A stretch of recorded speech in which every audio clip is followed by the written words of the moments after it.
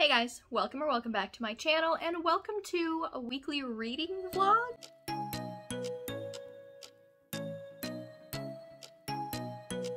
It's been a minute since I've done one of these, so we're just gonna jump right into it. Excuse the glow of the face, excuse the hair. We just took the dogs for a walk and it was humid. We're in Kentucky, it's summer, it's hot. So a couple of things before I jump into the things that I've been reading this week, which are limited, if I'm perfectly honest with you. I have a couple of unbox, well, I have one unboxing to do, and I have one thing to show you that I already unboxed because I got a package from a publisher in the mail that I honestly was not expecting, so I didn't really want to unbox it on camera and be like, oh, thanks, in case it was something that, like, I don't know. I've gotten weird, weird books in the mail before. So anyway, this was not that case, so I'm just going to show you, and I'm still going to be excited about it because I literally just opened it. Um, but, you girl got a hard copy arc of Shipwrecked. Um, you guys know I have loved this series since I started reading it. Has it been a year already? That doesn't seem right. Maybe at the beginning of this year? I'm not really sure when I first read, so I read Spoiler Alert sometime last year. I had an e-arc of all the feels that I read at the beginning of this year, maybe in January, and then I also was sent uh, an e-arc of Shipwrecked, which I have already read and I absolutely adored. So when I got a notification from UPS saying that there was a publisher mail package thing coming, if the angle is different, I'm sorry. You guys are very precariously positioned right now and my whole phone just fell off and that's what I get for being too lazy to like really set up my stuff for this for this vlog, but it's fine. Anyway, so uh, back to Shipwrecked. I, I read this earlier this year. The publisher had sent me an e-arc of it and when I got the notification, I didn't really think it was going to be anything. Ember, I swear to God, if you knock the phone off again, we're gonna have words. And I opened it because I didn't know what was going to be in it because I didn't know what HarperCollins could possibly have been sending me. And it's, it's this beauty. I adored this book. Um, I think that I might have said when I read it in my review that it was pretty much tied for me with Spoiler Alert because I loved, loved Spoiler Alert. Um, I really enjoyed all the feels too, but I just didn't have the same feeling about it. I loved all three books, but I didn't have the same feeling about it that I did about Spoiler Alert and Shipwrecked. And guys, this made my whole week, if I'm being perfectly honest. It made me want to reread it all over again. If you don't know, this is a series about um, actors who portray characters in a movie called Gods of the Gates. No, it's a TV show. In a very um, Game of Thrones like way. There's a series of books. This is an adaptation based on those books that in the beginning was wildly popular, but then once they ran out of source material, the creators started effing things up. So this is pretty much the same thing. So the first one follows Marcus. I don't remember her name off the top of my head, but she's a plus size cosplayer and she's like also a soil scientist, which was pretty cool.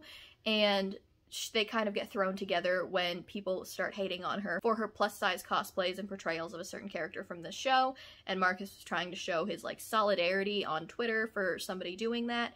And so he was like throwing his support behind her and like kind of asks her out to dinner. And it turns into this like publicity maybe fake it starts as fake dating and then it turns into real dating really really quick. So that's the rundown on spoiler alert. And it was amazing. Book two follows a different actor from the show um, and book three, both of them are actually actors in the show, and it's adorable. It's so good. Anyway, that's the end of my little rave about this entire series. It's just such good, feel-good, spicy, steamy romance. If you guys have not read this, and if you love, like, fan culture and, like, that kind of thing, in the first two, it's, like, the regular person dates a celebrity trope. This is obviously two celebrities dating each other. It's so good. Moving on, because I can only talk about this for so long before I lose your guys' interest. Next up is something that has been sitting around on my coffee table for a couple of days because I didn't know where to unbox it for you guys. This one I did wait for, and it's the next Broken Binding box. This is the next book in the Ninth Rain series. So you guys watched me unbox the last one last month, which was The Ninth Rain is the name of that book. Uh, this one is The Poison Song Why can I not? The Winnowing Flame. That's the name of the series. So that is the Broken Bindings current trilogy that they are doing special editions of once per month. And they always package everything so beautifully on the inside. So let me just grab this out. And you know that nothing's ever going to happen the way that they wrap it in bubble wrap. So let me cut to after the bubble wrap so that you guys don't have to listen to this. They make it like a little present and it always comes with a cute, oh, the Bitter Twins. I don't know what I'm talking about. The Poison Song, I think, is the third one. Anyway, they always come with this cute bookmark. You guys can see it there there. It's the Bitter Twins. And on the back, it says, This pain is not a weakness, it is strength. Our grief binds us. So that is the cute little bookmark that they have included this time. And they put the Winnowing Flame sticker just so you know which series you're buying from, I guess. Just to unwrap. On the one hand, I hate to like do that because the bow was so pretty. Okay, isn't it so pretty? So this is book two. Let's look at the edges and admire how beautiful and orange they are really quick. And it's like kind of an embossed um, dust jacket. It is also foiled on the naked hardcover. That is in fact a dragon. It is exactly as stunning in person as it looks like it would be on camera. It's beautiful. Um, it's got, I think the end papers match the end papers in the ninth rain. And then it's also signed and numbered, which is awesome. That's one of the things that they're doing for these uh, book box like subscription series that they're doing. And I also just checked because my copy of Ninth Rain was like sitting over in the corner. It is the same number for both books, which is really cool. I don't really know if that has any significance or not, but like as a book collector, like that's pretty awesome. And don't they look so nice together? I want to see what the naked hardcovers look like right next to each other because if they're as pretty as I think they'll be, I might just leave them like naked on the shelf instead of keeping the dust jackets on. I ended up doing that with my special editions of Crescent City too because my Crescent City 1, I have the tour edition, of the US tour edition of Crescent City 1 which came with a dust jacket and the UK edition didn't and then the special edition of like the tour edition of Crescent City 2 doesn't come with a dust jacket. So like I think it's kind of stupid that they didn't make them match. So they match more if you take the dust jacket off. That has absolutely nothing to do with these books, obviously. Anyway. Ooh, okay. With the shiny, it'll be hard to figure out like what they are, you know? But do I care? I don't know that I care. They look so nice right next to each other. We might keep them like that. We'll see. So, that is the other unboxing that I had to do. Other than that, let's talk about what I've been reading so far for the Magical Readathon. The answer is not much. I have only started one book for the Magical Readathon because I have been reading The Shadow of What Was Lost. I'm still on the audiobook of this. I know that I said that in my wrap-up that I did, my July wrap-up, it's been slow going because a lot of the first like half, maybe even three quarters just felt a little bit slow and then the last bit has finally ramped up all the action, everybody's back together. So I'm somewhere around like 600 pages into this book. I'm way further than I thought. Uh, I listened to it most of the day at work today and I only have like two hours of the audiobook at le left, uh, but that's way less than two hours of reading time for me, so I honestly might try and wrap this up tonight because I need to get a move on on my Magical Readathon TBR. It's going very, very slowly for me right now. So, um, anyway, what I'm thinking about this, I am really enjoying it. Um, for the first, like, I think we'll go with 50%. There were parts that I was more into than others. There were parts that I was like, okay. Hi, Ember. There were parts that I was okay with letting, like, the audiobook pass me by. I don't know if anybody else does that, but, like, that's one way that I listen to books that don't like 100% have me fully invested in them is that I just like listen to it and catch what I can, but if I miss something, I'm not too worried about like going back and rewinding so that I can hear every single thing. Um, and that's kind of how the first 50% went, which some parts left me a little confused. I don't know if this is like some kind of taboo thing to do when you're listening to an audiobook, but it's how I get through books that I'm not like 100% invested in. But I liked it. Like I enjoyed the characters. There was just like a lot of stuff going on at once that couldn't like fully hold my attention 24 7. Finally, I think maybe yesterday or today, I passed the 50% mark.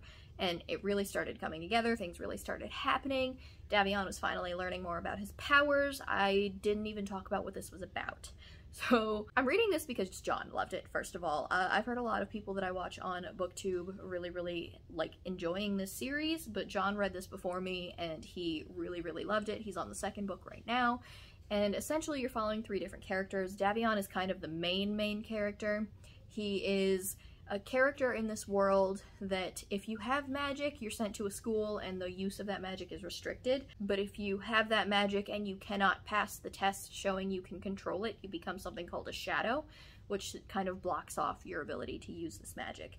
And he's really worried that that's going to happen, but the night before he's supposed to take this test, somebody approaches him and kind of saves him from that and sends him off on a quest somewhere else. Um, and his friend Wirr decides to join him on that and so they kind of run off from the school together, leaving behind their friend Asha, who is the third POV. The third, well, there's not really three POV, there's more than three POVs, but a third POV who is going through some stuff of her own. I can't really talk about it without spoiling it.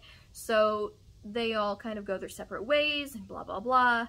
I finally have gotten to the part of the book where they come back together, which is always the part that I like the most in these things. So we're there now. I'm 100 pages or so from the end, maybe less. No, I'm, I'm about I'm about 100 pages or so from the end, um, and I'm really really liking it. It's giving me solid like four star vibes right now, just because it took me so long to get invested in the first place.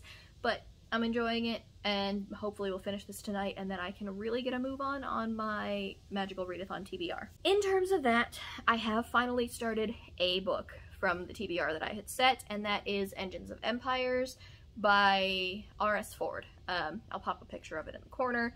You guys know how it goes, and I am not far into this at all. Um, maybe 10%. I'm kind of just still meeting the characters, honestly. Um, there's not really much to say on this so far. You guys can see all of the fur that Ember is depositing on me as she's just standing in front of me. So far we've met, I think, three different points of view from the same family. First one, her name is escaping me, but it starts with a T. She's the daughter, and she kind of doesn't want the responsibility that being the daughter of like the leader of this particular family is going to give her. She doesn't want the responsibility of having to lead her own section of it. You follow her younger brother, Full, Full something, Full something. I don't remember his name either. And uh, he is kind of struggling with the fact that he's learning to be kind of like an artificer mixed with a swordsman, but the swordsman piece of his education is kind of frowned upon by his mom and he has his reasons for wanting to become a master swordsman. And then I've also followed a point of view from the mom herself and kind of just seen what's going on as the family is kind of getting ready to split up and go all of their own individual ways. Um, haven't really seen much in the way of the magic system yet. They've introduced the concept of something called a path stone. I can't tell if the path stone is just like a gemstone that you can like infuse with magic maybe or something along those lines. The daughter can control it. Apparently this ability is rare. That's about as far as I've gotten. Um, I'm interested. I'm definitely not uninterested in it, but yeah. Other than that, I think that after I finish The Shadow of What Was Lost, which is not on my TBR at all, my plan is to either pick up Monstrous, so I can bang this out of the way early and hopefully see the necromancy elements in it, because if there aren't any necromancy elements, then this will not have gone on my TBR for any reason, and I'm going to have to pick something else that does in fact have some kind of undead necromancy stuff. Um, and after I finish this, I'm finally going to move on to Master of Iron, which I probably won't talk about in this vlog because I do have a planned vlog for this by itself, just because I did get sent this by uh, the publisher, and so I just kind of want to give it a little bit of special attention, and I did really, really enjoy the first book, so we'll do a special vlog just for this one alone. But yeah, um, I think that's the only updates that I have for you guys. I don't really have much in the way of reading going on. It's been going pretty slowly. You guys, if you've watched my last few videos, you know exactly why. I don't really need to keep reiterating it, but I am not in a slump. I am just slowing way, way down, I think is the best way to phrase that. So, it is what it is. Also, a lot of my weekend reading time that I would have dedicated to reading John and I instead spent playing Gloomhaven a lot of this past weekend. We got it as like an anniversary present to ourselves and got immediately hooked on it. So we stayed up way too late on Friday night playing it. We stayed up way too late on Saturday night playing it. And on Sunday, we got together with a couple of friends online and played our other favorite board game, which has like a Steam edition, and that's called Scythe. So we were playing that, and then we switched over to the Steam edition of Gloomhaven as well, and John and I played that last night. So there's been a lot more gaming than usual in my time that I am utilizing. I'm not mad about it. They're all, they're like both very interesting games, and John and I have been enjoying spending our time doing that together. Um, but yeah, it, there has not been a lot of reading happening for me, or TV watching, or anything. I'm in like a weird story consuming mood, I guess you could say. And, uh, I don't know, my, my brain is kind of switching between things pretty quickly. So, this has been the longest update that I think that I've ever given. I will talk to you guys when I have something else to say. Okay, so we're back in this super precarious position to talk about a couple of things that I've read. I finally finished The Shadows of What Was Lost um, yesterday? Two days ago. Yesterday, I think. Um, I probably have to go back and reread a little bit of it because I've been listening to the audiobook of it and I was listening to it on my drive home from work and honestly that was the worst commute of my entire life. Like the rain was coming down so hard that I was so focused on that that I was not focused on what was going on so I like got general ideas of what was happening in the epilogue which was a lot. A lot was happening in the epilogue. Uh, so, I mean, I liked it. I ended up giving it four stars. A lot of plot twists kind of happening there in the last few minutes, and I think that I missed the general idea of some of the things that happened. Like, I had to run it by John, and then I was like, okay, I think it's clear that I need to go back and reread a little bit.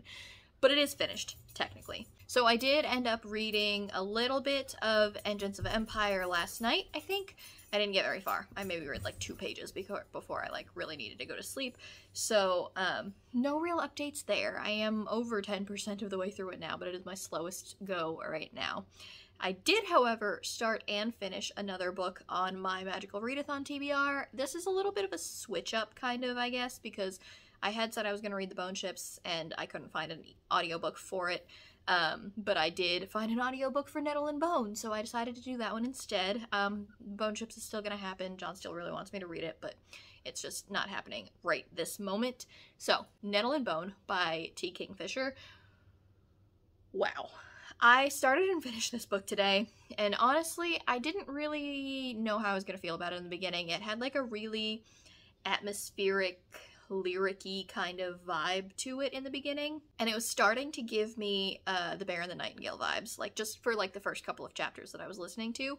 Just that like really fairy tale-esque like atmospheric kind of thing and i did not like the bear and the nightingale so i was a little concerned about how this was going to go I guess I should have trusted the process because I was like half-heartedly listening to it while I was at work, but it's like a nine hour audiobook and I was on two speeds, so it didn't take as long. And by 30% of the way through, after it got through the exposition of like how she got where she was, oh boy, I was in. That book was so good. Full five stars.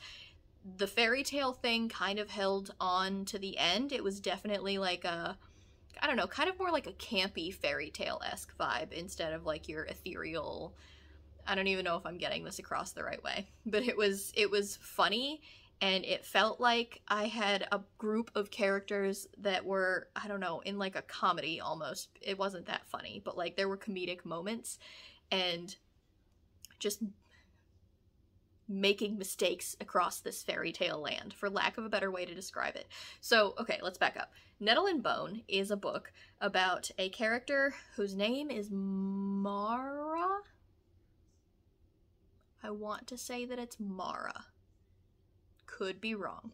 She is one of three princesses uh, who have been promised off to princes in other countries. The first, well, I guess a prince in another country. So the first sister um, whose name I don't remember. She married this prince and she died via accident, we all think. Uh, so the second in line sister is supposed to go off and marry him now. Not instead, because the first one married him. So, like, it's now her turn, I guess, to go and marry him. So the second sister goes off, and they don't really, she doesn't really have a great relationship with Marra. I think it's because she thinks that Marra is, like, safe from this marriage kind of a thing because Marra is like off. I could be saying her name totally wrong. I really hope that her name is Marra. Marra is at like this convent and she doesn't fully plan to like take her vows to become a nun, but like that's what she's there learning to do pretty much. And so the second sister goes off and marries this prince and she starts pretty much being forced to pop out babies. It was like a little bit traumatic. There's a couple of trigger warnings in there for all of the shit that she goes through for like domestic abuse and uh, indications of rape. It doesn't actually describe the rape, but it does hint that it is exactly what's happening. And so essentially, Marra finds out that her sister is being mistreated um, and beat by her husband, and she decides to come up with a plan to free her from him. And that is going to involve murdering him, which is delightful. So the book opens on her crafting a dog skeleton back together and it comes to life and it becomes like I think they call it Bone Dog through the entire story. Bone Dog is a delight. Uh, best, one of the best animal companions, even though it's like an undead animal companion, like one of the best ones that I have read. I adored that little dog so much. Um, and she kind of stumbles across a couple of other characters that she drags along on her journey that join her group on the way. And it was just the cutest standalone. Like this book has been blowing up all over like BookTok and BookTube lately, and I finally had decided like, okay, I am. And I finally had decided it was time for me to do it. I had gotten an ebook of it not that long ago, and then my library hold on it expired, so I never got around to it. But I finally did, and I have regrets that I didn't read it sooner because I just I just loved it that much. So yeah, full five stars. Um and that was my reading day so far. I still need to read Engines of Empire. I think that I might be moving on to Master of Iron next. I may hold off on that for later because that is, like I said, it's a separate vlog, so we'll see. I might hold off. Um, I do still have to read Monstrous, and I also still have to read Her Majesty's Royal Coven. So there's a couple of options. Uh, I haven't really decided which one I'm picking up next. I think I have the Master of Iron audiobook via Scribd that I can read if I want to do that, but we'll see. Anyway, for right now, I'm gonna go work out on the treadmill really quick and make dinner and figure out what I'm going to end up reading later at some point, hopefully. But that's it for this update.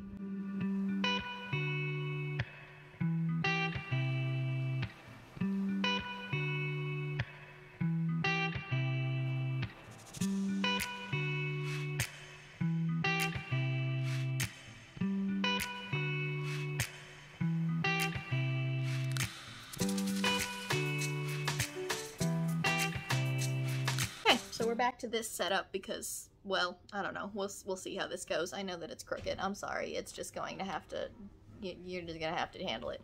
Anyway, um, so to wrap up this vlog, which I should have done two days ago, and I did not do, I have done a lot of reading. Um, so I think the last time that I talked to you guys, I finally finished The Shadows of What Was Lost, which is great. I am still working on Engines of Empire by R.S. Ford. I am probably 20% of the way in now, and I am focusing a lot more of my attention on it, but I, am into it. I'm, I'm very interested. Things are finally starting to pick up. I'm enjoying the family that we're following. I'm enjoying the characters that we're following and I am liking what I where it's going. I'm enjoying Tyreta, who is the daughter who has been going through some stuff. She has just been like uh, attacked, I guess we'll say, and is kind of fending for herself with uh, people that she's not fully comfortable with, for lack of a better way to phrase that. Ulrin, I think, is the younger brother's name.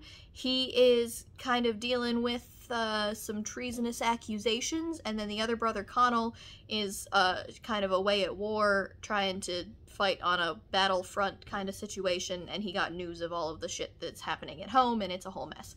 So, um, yeah, that's pretty much where I'm at. Maybe 20% of the way through. Really starting to like where it's going. It's kind of starting to really pick up and I will probably update you guys if I do another one of these vlogs next this week. This week. It's Tuesday. I this is way too late. I did finish a book since the last time I talked to you and that is Praise by Sara Cate. This was just a random recommendation that I scrolled through. I think somebody had posted a TikTok onto Instagram and I was very interested because it had a lot of the romance tropes that I do enjoy, like boss secretary. Their age gap is not something that I generally enjoy, but I enjoyed this one. Um, it was kind of awkwardly her ex-boyfriend's dad, which I think is kind of similar to a Penelope Douglas book that I haven't read, but everybody talks about. Anyway, irrelevant. Praised by Sara Cate. You follow Charlotte and Emerson, and Charlotte is the main girl. She is kind of down on her luck and her ex-boyfriend is like a terrible person and she needs the security deposit from the apartment that they shared and it went to his dad's house because his dad co-signed on the apartment with them. And he won't go get it because he's not speaking to his dad so she goes to get it because she needs money. And he hires her as his secretary and he is a CEO of a I think they call it the Sensual Players Club, Salacious, Salacious Players Club, which is kind of like a hedonistic, I don't want to call it a sex club, but it's kind of along those lines. It was an interesting, it was, uh, it, it's not my usual romance that I read, but I was really into it. I really liked the storylines and I really liked the characters and it was really really steamy and I think that I enjoyed it. I ended up giving it 5 stars I'm gonna say I think I don't really remember exactly, but I'm pretty sure it ended up being a five star read. Um, I devoured it in one day, yesterday, actually. I read the whole thing yesterday. So I don't know that I'm going to care too much about the rest of the series because it was kind of just a one off thing for me, but as far as that story goes, I, I enjoyed it immensely. And that is the extent of my reading. So I have completed two things for the Magical Readathon so far. At least one thing. I've completed at least one thing for the Magical Readathon, which is something with bone in the title, because I read Nettle and Bone this week, and I absolutely adored that.